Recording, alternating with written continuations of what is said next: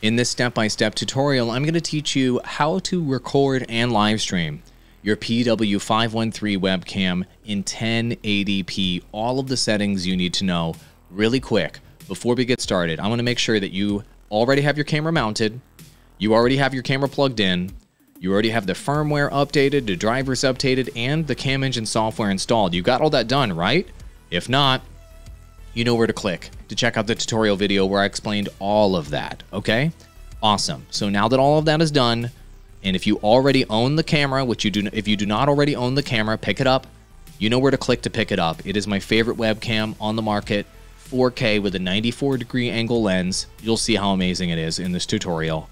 What you're going to do is go to the settings area in OBS first to add the camera to OBS. This is Open Broadcaster software the best free software to broadcast on the internet. Click Settings. Then you're going to go to the Video tab over here on the side, and that's where you're going to adjust the resolution to record and stream in 1080p. Click Video. Then you're going to want to adjust your settings up here with your base can canvas resolution, as well as your output scaled resolution to 1920 by 1080. Go ahead and select that for both of those settings. Then for your downscale filter, you can decide how powerful your computer is. You want to bump this up to 32 samples if you can. If you have a fast processor, if you have an older processor, keep that at 16 samples. And for your frame rate, I recommend bumping this up to 60 frames per second if you have a fast computer and if you have a good graphics card. If you have a slow graphics card and a slow computer, try 30 frames per second. So I'm going to bump this up to 60 because my computer is insane. Awesome. Your next stop here in your settings is going to be the Output tab. Now this is going to default to simple mode. Simple mode does not give you the settings you need. So you want to go ahead and do this to advanced mode. And this is going to open up a whole new world of settings for you in terms of streaming and recording. Now your first stop here in the advanced streaming settings is selecting your encoder. And as you can see, I've got two encoder options listed here. NVIDIA NVENC H264 and X264. What's the difference between these? I very, very highly recommend that you guys pick up an NVIDIA graphics card if you're a content creator of any description. It is necessary, in my opinion, to maximize your quality and to ensure that you don't get encoding overload, dropped frames, and stuttery performance on your computer. I recommend picking one up right now. You guys know where to click to check out my Amazon page if you're not already following it go ahead and follow me on Amazon. I've got all of my gear recommendations here, including the best cameras and the best computers that you can use. And all of the computers on my Amazon page featured are pre built computers with NVIDIA 30 series graphics cards built in. I own two of these that I run in my studio. And what these graphics cards allow you to do when you're using a camera like this, you're broadcasting, is you take all of the processing load off of your processor on your computer and it puts it instead on the graphics card. This is what you need if you want to be a professional broadcaster, okay? So when you have that NVIDIA graphics card, you can use NVIDIA's NVENC encoder, which maximizes your quality. Then under rate control, you'll have the option of CBR, VBR, and other settings. I recommend CBR, which is constant bitrate. What does that mean? That means you will have a consistent quality throughout your stream. Now, for streaming settings on 60 frames per second, you can go between 4500 here for your bitrate up to 9000 for your bitrate. And if you're doing 30 frames per second, you can go between 3000 and 6000. A good middle of the road setting, general setting for all of you is to do 36,000 as your bitrate, okay? 6,000 is your bitrate. That's a good middle of the road setting across the board.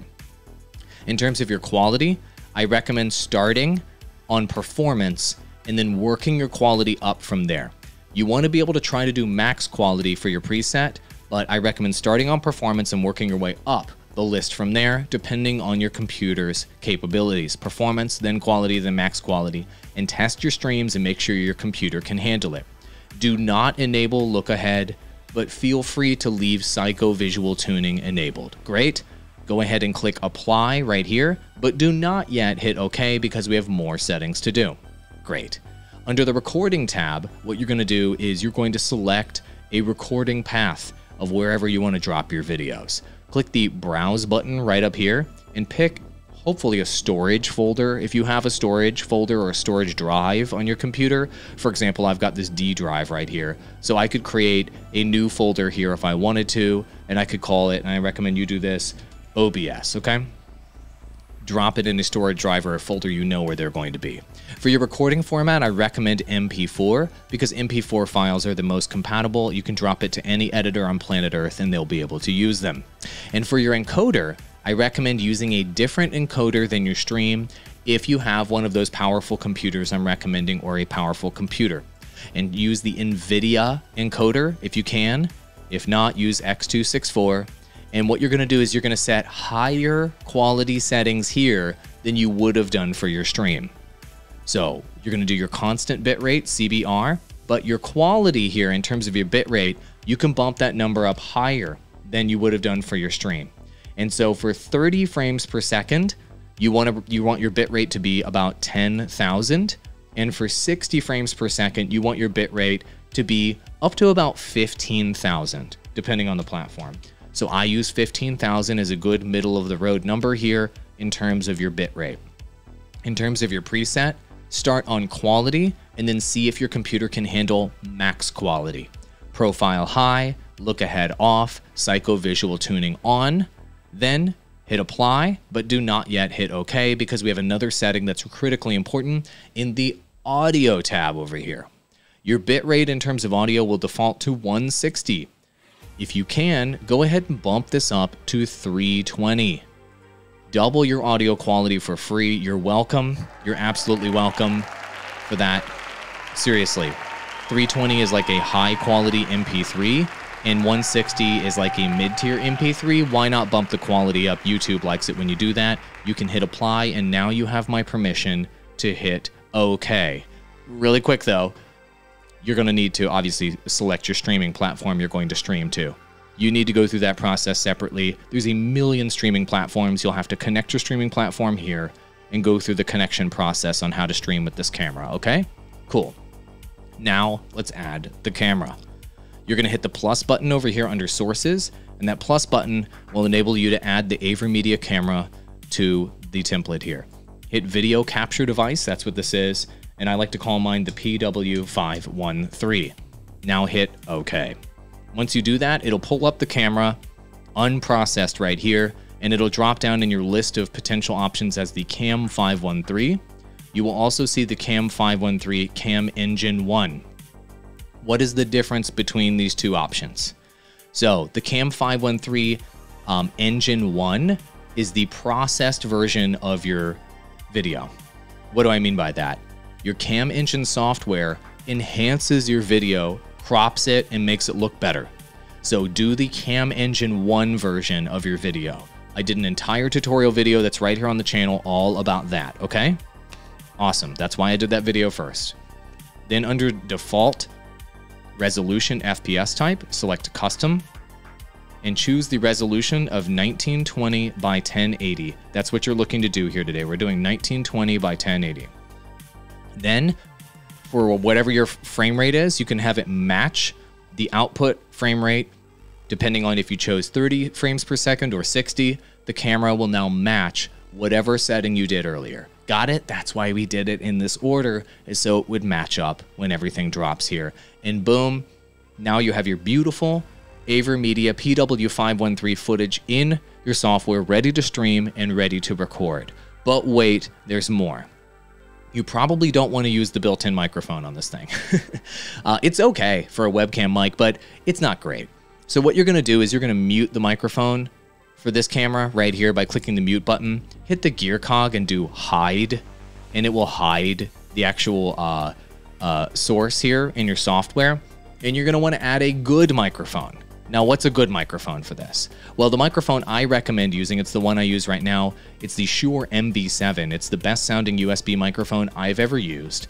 The Shure MV7 is modeled after the Shure SM7B, the one you've seen every major streamer on planet Earth use. You know where to click to pick this up if you want to get it. We're going to add that microphone today. And I'm going to show you a final step after we do that. All of this is required to have a good setup. Got it?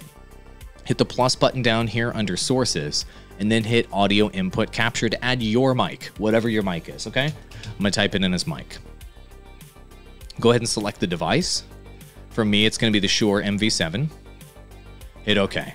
Awesome. As you can see, my levels are now popping here under levels whenever I talk into this mic, which means it's working. But your audio and your video may not be synced up properly. So, how do you fix that? Your video usually moves slower than your audio. So, you can slow down your audio to sync up with your video by clicking the gear cog next to your microphone. That's why I'm going through this. Go to Advanced Audio Properties in that menu, and it'll pop up this menu right here. As you can see, there are some settings here for all of your audio devices. And the one we're going to look at today is called Sync Offset. And what you're going to do is you're going to type in a number on your microphone, and that's going to slow your microphone down so it goes as slow as your video. Got it? So, generally speaking, go ahead and start at 100 ms. It's a good starting point setting. You can start at 100 ms you can go up to 225 ms to figure out how fast or slow your microphone needs to be to be perfectly in sync with your video. Got it? Once you do the sync offset right here, hit close and then hit start recording down here in the corner and do test recordings and look at it and actually look at the actual video, play it back and make sure that your lips are perfectly matching the video as you're doing this content. If they are not matching up perfectly, go adjust the sync offset and get it just right. Got it? Awesome. Whenever you're looking to fire up that stream, there's a start streaming button over here, but you will have to, like I mentioned earlier, go through the custom connection process to connect to the streaming platform of your choice. That's how you stream with the AverMedia PW513. That's how you set this thing up from scratch, get it synced up, have a good microphone, and the whole nine. And as I mentioned earlier, if you're looking for more amazing tech tips, follow me on Amazon. You know where to click to do it. I've got original image content, video content, idea lists, and you can come ask me any question on live streams. I'm live streaming on Amazon, tech live streams every single day. Come ask me any questions about this webcam and any other gear you're using as a content creator. Thank you so much for watching, and I'll see you in the next one.